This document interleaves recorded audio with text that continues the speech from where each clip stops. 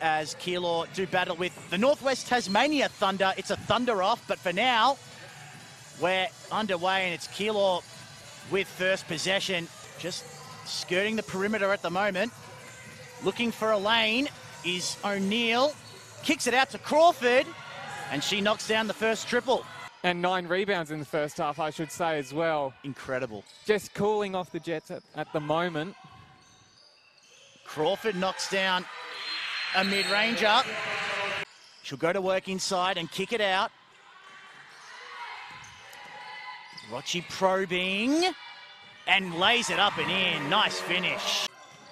Izzy Bourne now going to work inside. Deflection, Davidson there. She misses the second chance opportunity, but knocks down the third. Has a little bit more size, and she uses it to full effect usually. As Reed, Rotuno for three, knocks it down. Playing an active brand of defense, the Tornadoes. Davidson's got the mismatch. They double. She doesn't mind. The hoop and the foul. Izzy Bourne and Tara Reid get ready to come back into the game. Rochi left wing. Davidson inside. Good move. Both of them to calm down after a bit of physical contact before the inbound. Yep, those two will be going at each other as Reed reverse layup. Rotuno defended by Crawford. Bourne, pump fake good. Reed in the corner. Yep. Sarah O'Neill, Carmody defending her closely. Switch on.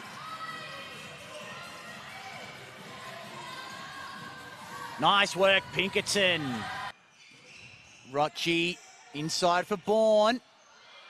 Just backs her way down and finishes with authority while drawing the contact. Can't quite.